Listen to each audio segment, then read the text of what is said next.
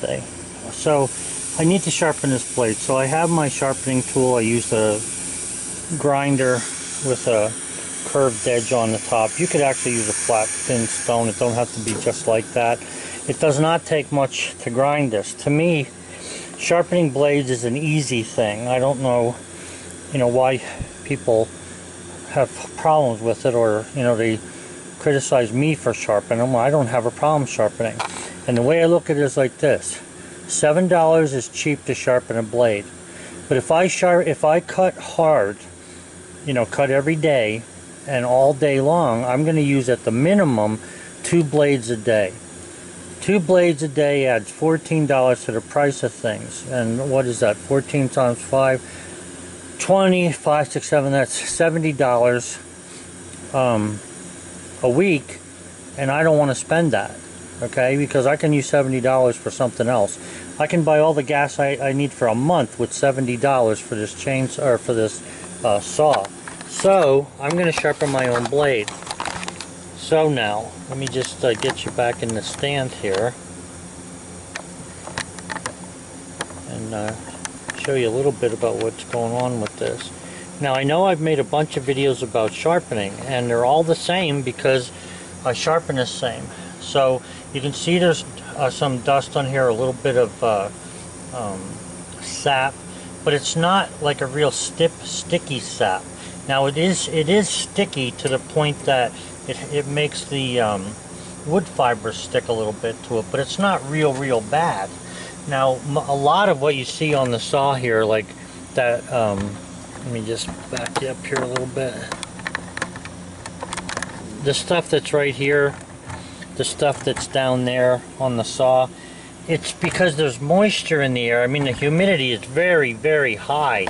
And because the humidity is high, we end up with, um, you know, the sawdust sticking to everything. So technically it should be cleaned off, but I'm not going to be cleaning this every hour just because I'm blowing sawdust around. I mean, if it affects my cuts or the thickness of my cuts, then I'll, then I'll worry about it. So anyway, this blade has been sharpened twice before. Okay, so this is the third sharpening.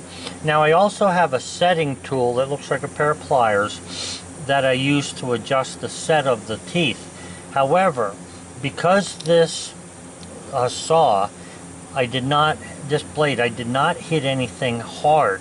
Now that's not to say I didn't ride over something slightly but I didn't hit anything hard enough to jar any of the teeth and the teeth are still cutting a fairly flat cut. I'm just going to go ahead and start right at the weld, okay? That's what I like to start at, and just sharpen it. So to me, um, I also have this file. Now I, I have a stone, but the stone wants to wear down on me pretty quickly. So you can use a file. All I'm doing is cleaning dust out of there at the moment. Um, like I say, some of this is sticking on here from moisture, and other of it is sticking on a little from a little bit of the sap from the pine. Normally, oak sap comes off fairly quickly, so you know if I spray a little WD-40 on it and run the blade, it actually blows the stuff off pretty quick. But saps uh, from pine is a little bit different. Not bad, just different. Okay, so anyway, again, you know, I'm starting where the weld is so I know where to end. And all I do is basically clean the blade off and start sharpening. I hold my finger at a certain thing I, I, so that when I key this, it's where I want it to be and all I do is ride around that hook. That's all I do. And then I sharpen the point where the hook curled over. It's that simple and you can complain about what I'm doing all you want. You can tell me I am too cheap to get uh, saw blade sharpened and you're wrong because I could buy a thousand blades any day of the week. My problem is I don't want to and that's all there is to it. And since I learned how to sharpen many, many years ago things, I'm just going to sharpen it and I'll sharpen it the way I do and use it the way I want. I can get the same amount of life out of every sharpening that I get out of a new blade. It doesn't matter. So anyway, this is I don't know if you, how well you can see what I'm doing here, but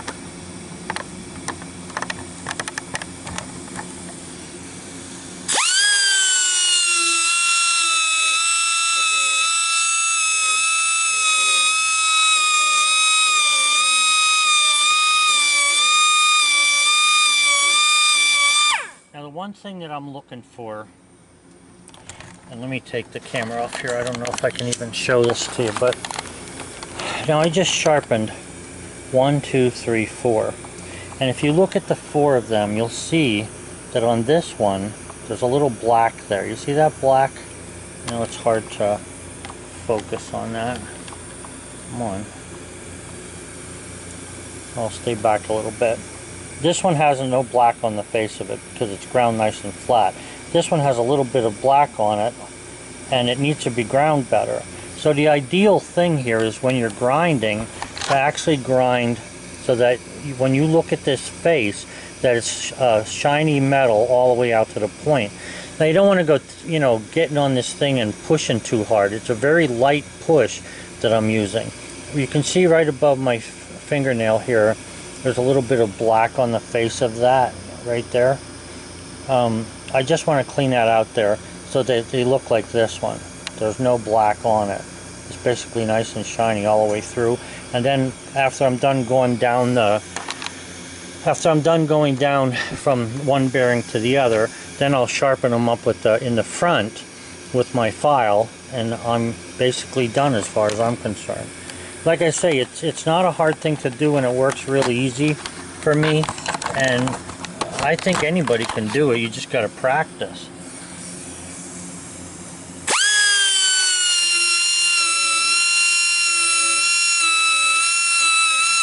That black line on there tells you, like the black line tells you whether you're canting up, canting down, or not hitting hard enough, okay? Uh, because that little line, you'll see it on the tooth. So as long as you have a nice flat edge there, you're that means you're really straight with what the blade was to start off with. And then all you gotta do is just sharpen the back side. So uh, I just run my finger down like, I can feel this, the one here that I'm feeling in front of the weld that I have not sharpened, I can run my finger over. But I cannot move my finger over this, okay? Because I've got a sharp edge on it.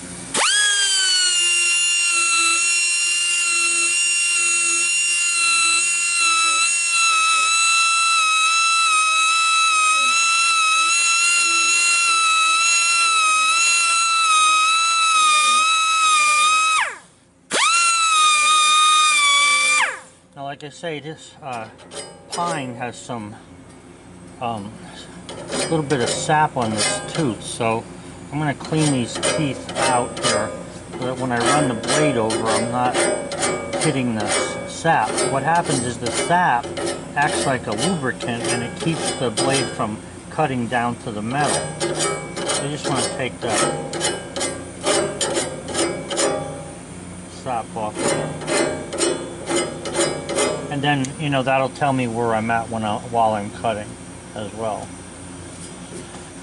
Okay, if I wouldn't have been cutting any pine and I was cutting oak and went right to this, what I would have here is a lot easier job to do it. It's the pine sap on the inside of the tooth here is a, it acts like a lubricant to this uh, grinding wheel.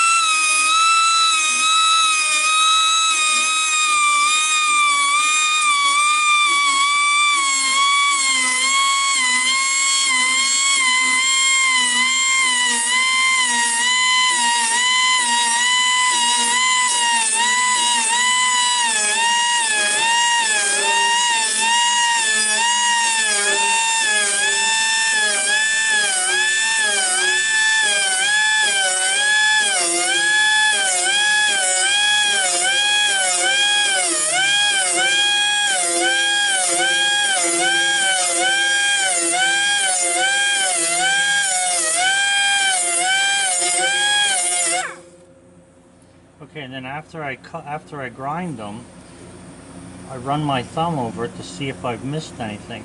This one here, um, I don't know if you can see this. Let me turn the camera a little differently here. The one where my finger is here, when I run my thumb over that, I can slide over. it.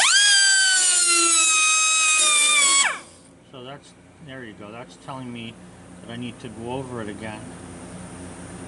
Now, um, all of these are catching my thumbnail. This one's a little... And that's what I use as a guide. You know, is it grabbing a hold of my thumbnail when I try to pull over it? And I have to pull my thumbnail out to get away from it. So once I do that, then I just take the file, making sure that the file's straight against that edge, and I just run the file up and down on there. Or you can run it down if you're file happy and you want to do it a certain way, fine, I don't care. But either way, that's all I do. And I have got a nice sharp tooth on there.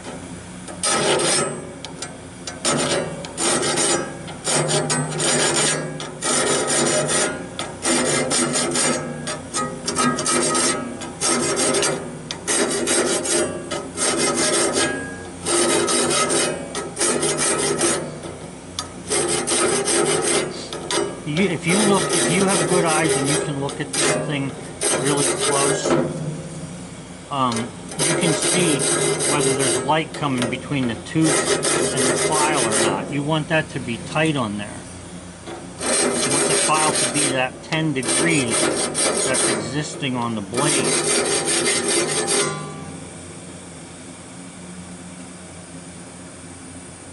Okay, so all them feel good to me.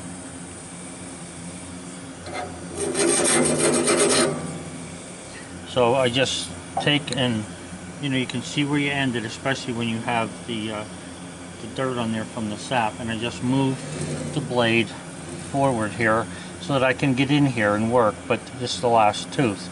So these here, I'm going to take and just run the file inside there just to get the dirt off of there. I would say that if you had a, a brand new file, three-sided file like this, or even a, a small flat file, there's no reason why you can't sharpen this blade with a file. I like using this carborundum thing because it's real quick.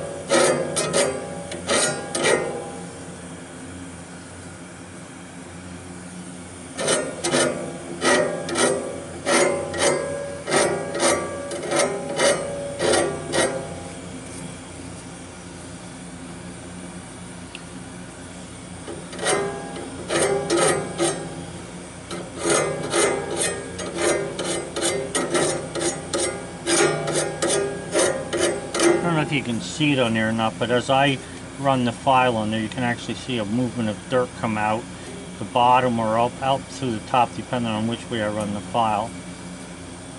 But I just want that face, the edge inside here, to be clean so that I can run the um, the file in there, or the grinder in there, I mean, without anything bothering me.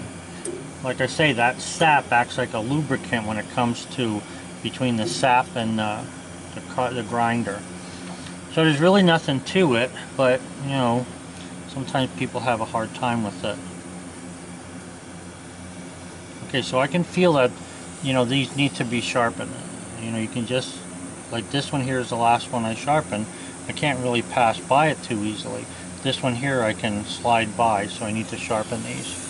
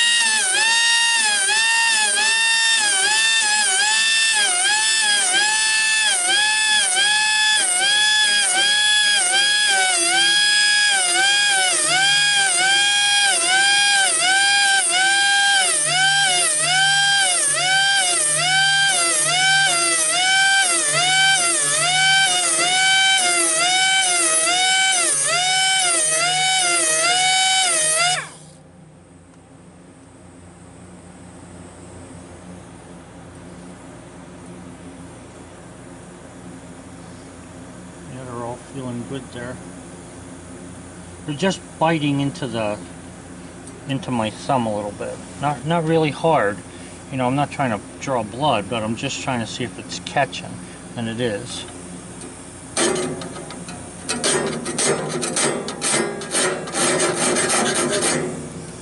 What I'm trying to do is get that little piece of metal off there that rolls around the edge. You can't even see it, but it's there.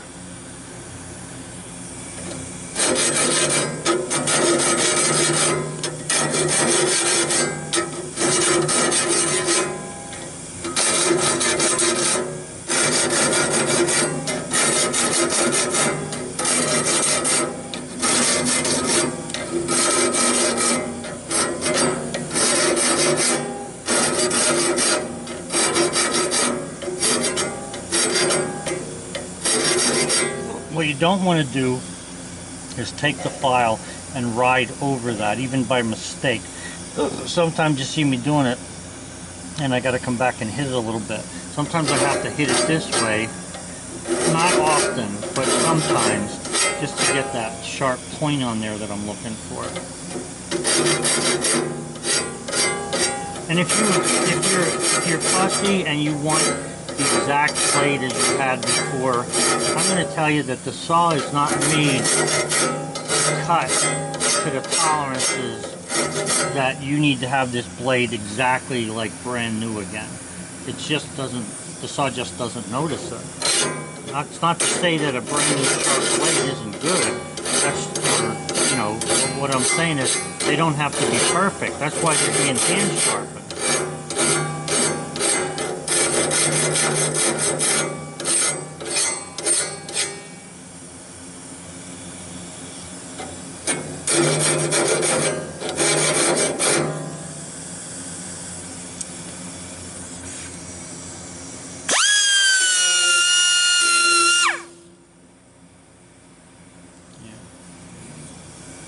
So I'm good to right here then. I just pull it ahead and then I start, you know, where, wherever I left off. And I'm just pulling it away from the wheel here far enough that I can, you know, move the, the handle of the uh, file in there. I'm just using the corner of the file. You, you see what I'm pulling off there. Okay, that's what's inside that tooth that has to come out because if you don't get that out of there, you can't uh, grind because it acts like a lubricant sort of.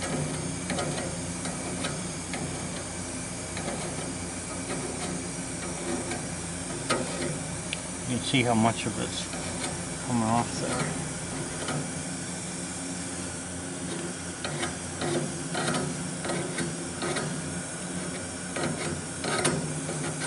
Somebody had uh, mentioned last week, I think, the comment where they don't like the uh, fibers that come off the edge of the board. They, they say they have to sand them. Well, yeah, you do have to sand them, but once the wood's dried, those fibers come off really quickly. And the reason that the fibers come on there to begin with is the amount of moisture. Uh, you, I mean, you can see there's a lot of moisture in the log itself. So, you know, that's what's causing those fibers. They don't roll off the blade quickly because of the sap.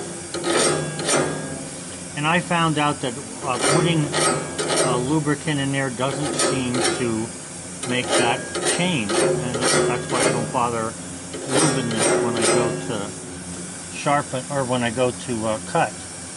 It just doesn't seem to make a difference to me.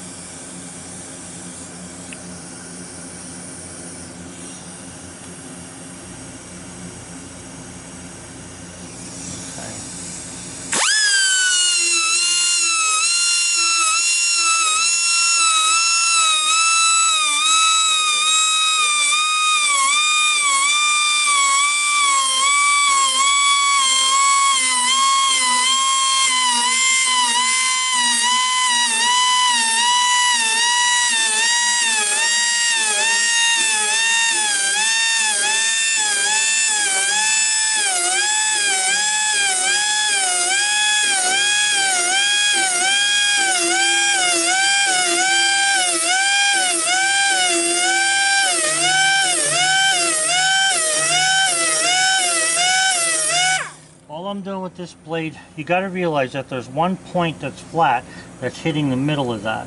If, if I get black on the top, I got to raise it up or tilt it.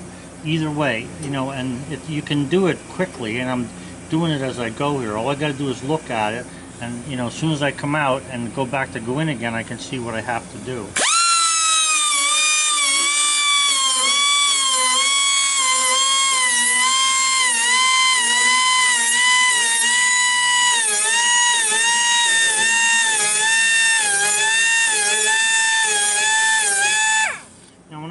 Got the saw and I was um, sharpening the blade, the guys saw me sharpening and I was using two files because I didn't have I didn't realize what I could do with the blade or could not do. And then once I started, you know, figuring out what the blade, how the blade could be sharpened, then it was a lot easier for me to do. I'm just taking some of the stuff off the top there. And that's why I spray it when I go to use um, the saw again. I'll spray WD-40 on here. And you can use anything at all, anything that's wet, and it'll actually clean that off. I like to use the WD-40 because it seems to lubricate the bearings a little bit. So again, you know, all I'm doing is just sharpening that very tip, but I'm keeping the blade at the 10 degree angle or the file.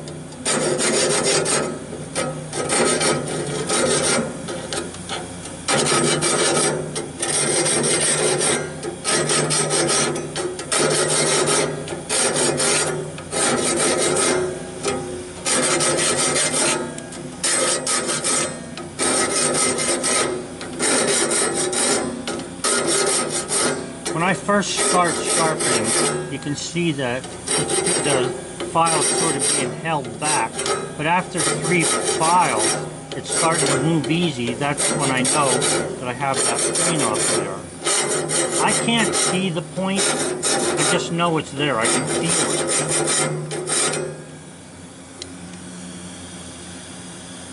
They feel excellent to me. Yep. So I'm not going to worry about, like I say, trying to set this blade because I can see that it's set good and I'm just going to keep using it. Uh, what I was saying there is uh, when guys first saw me first uh, sharpening these with hand files, it would take you a good hour and a half or maybe a full hour to sharpen the whole blade and then with a file sometimes you're not getting, you know, if the file's not a good file and who knows what's good today. You hope you buy good tools. It comes from China. You don't know if they made good ones, where it came from or whatever. Most files are pretty good though, I have to say. But what I'm getting at is people were complaining it was taking me so long and you know, if I want $30 an hour to do what I do, how am I going to get $30 an hour for the blade? Well, how do you get any money, any amount of money back? I mean, it doesn't matter how much time you spend on something, how do you get that money back unless you charge when you cut? So that's the whole point there. It's not a matter of, you know, how do you, or where do you get it? You know where to get it. When you sell the wood, that's where you get your cost. And if you don't, then you're foolish.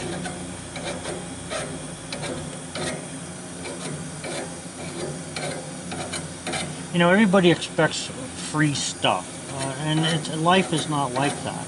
I mean, a lot of times, if you look at some of the prices of the of things, when we were kids, I remember a pair of shoes to go to school when I was a little kid was twenty dollars. But those shoes were made out of genuine leather. Today, shoes at Walmart are still twenty dollars. You know, and you think, well, that's the same price that they were when I was a kid. Yeah, but it's not the same shoe, not even near. Same thing with your clothing and stuff. The only thing that I think's gotten better are tires, and the price of tires hasn't gone down.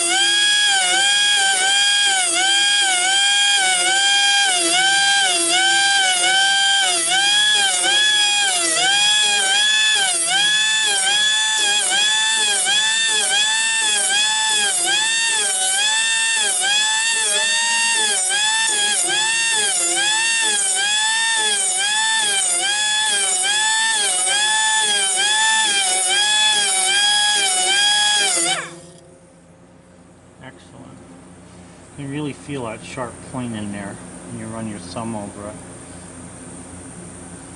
Yep. Very good. So that's how I sharpen blades and it comes out real well for me. And you'll see I'm going to cut this uh, log that I have on here. I'm going to cut that up just as soon as I get this blade sharpened. And then you'll be able to see just how good it cuts.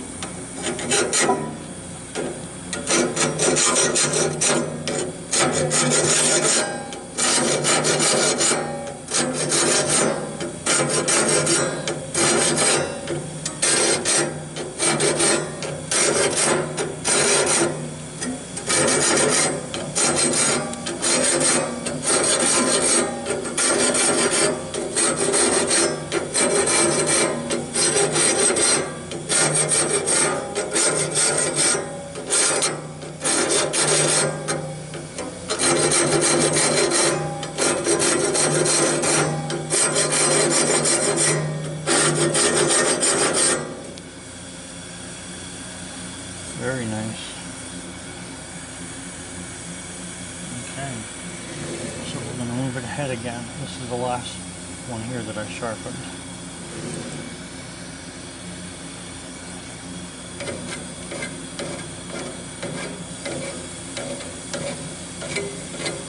And when I sharpen, like I was saying, I don't know if you heard me before, but when you sharpen blades and you're and it's not oak or it's oak, you don't get this buildup on here. Like we, before I started cutting these pines, I, these teeth were clean because oak doesn't give you that sap. Oak sap is a lot thinner than what the pine sap is. It's not like like a glue.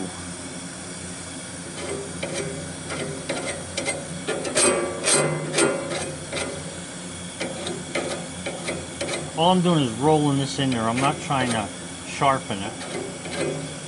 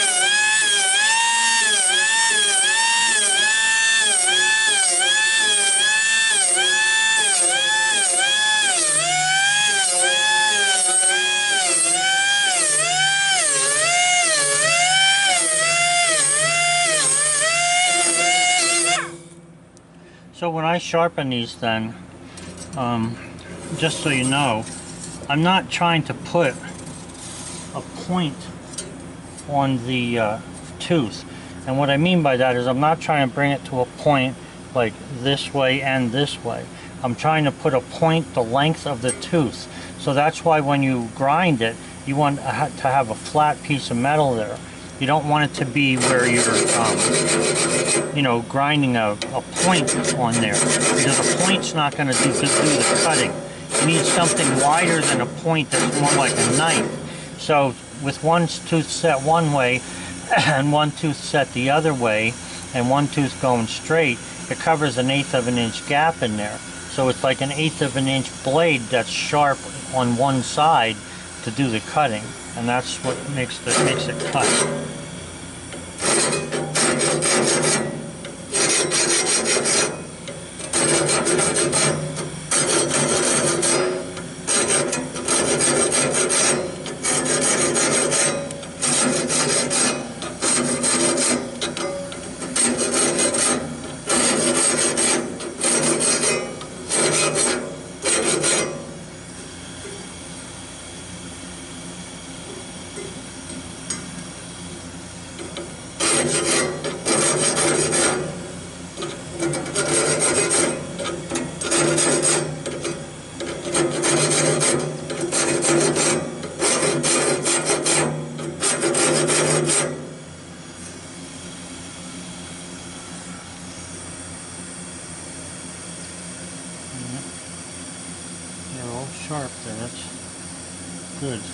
I, try to check everyone with my thumb like this in case I've missed one. Sometimes you might miss a tooth or you didn't quite cut it the way you should have.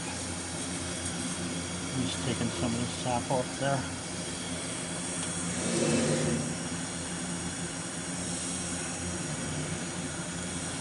Right here's the one that was did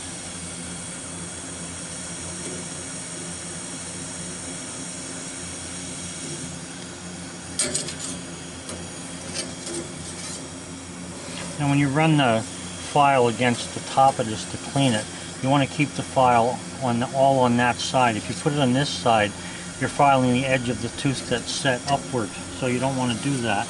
I'm just cleaning it off by running the file along the edge there.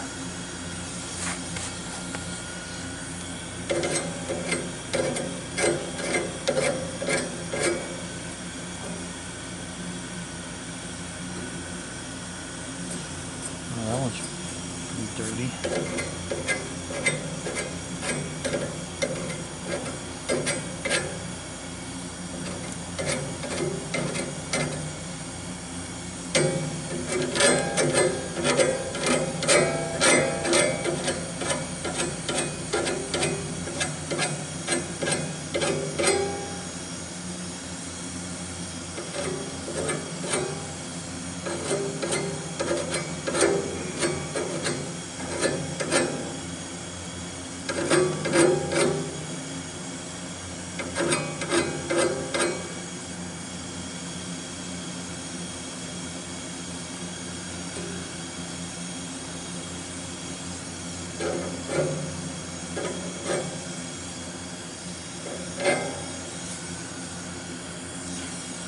Okay.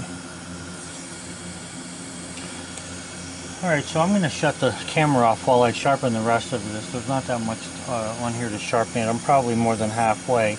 And then I'll get back to you on it. Okay, and you can see it cut.